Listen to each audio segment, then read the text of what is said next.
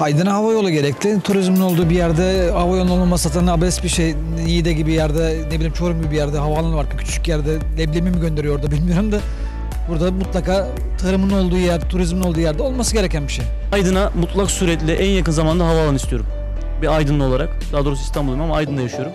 Ee, çünkü her seferinde buradan havaalanına git gel problem yaşıyoruz. Şirketler var burada kaç tane şirket var. Ee, yurt dışında çalışıyoruz mesela biz. İhracat yapıyoruz. Müşterilerimiz geliyor.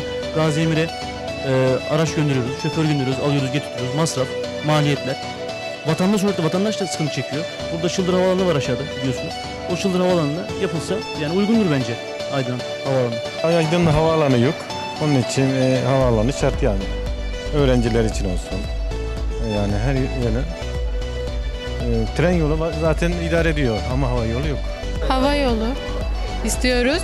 Çünkü ben Kilis şeyde okuyorum, Kilis'te okuyorum. Oraya gitmek için İzmir'e gidip oradan geçmem gerekiyor. Aydın'da olursa daha iyi olur.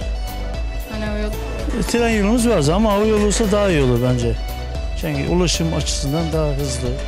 Yani iş adamları olsun yani burada Aydın ilerliyor. Bence geç kalınmış bir iş- işlem yani hava yolu. Bir an önce yapılması lazım. Yani ilk imzayı da ben atarım yani öyle bir dilekçe sunulursa. Aydın'a hava yolu isterim çünkü e, buradan daha kısa sürede her yere ulaşım yapılabilir diye.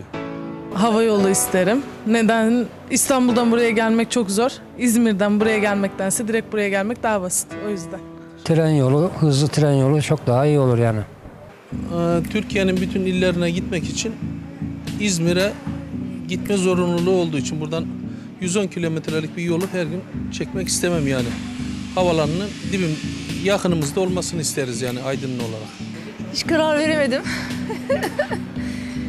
Hava yolu daha iyi olmaz mı? İkisi de güzel, ikisi de olsun. Hem hava yolu hem tren yolu olsun. Tren yolumuz var zaten. Hava yolumuz yok. Vallahi hava yolu olsun. Hava yolu olsun daha güzel. Yani bence tren yolu var. Değil mi? Hava yolu olsun. Her yere rahat ulaşalım. Kısa mesafede gidelim. İyi günler. Demek e, daha iyi yakın ulaşıma demektir. Bence o yolu olmasını tercih ederim. Tabii bu meyanda e, tren yolunu da isteriz. Yani memleketimiz her türlü şeye bekliyor zaten. Yani hangisi olursa olsun bizim için sakıncası yok. Bizim için faydalı olur.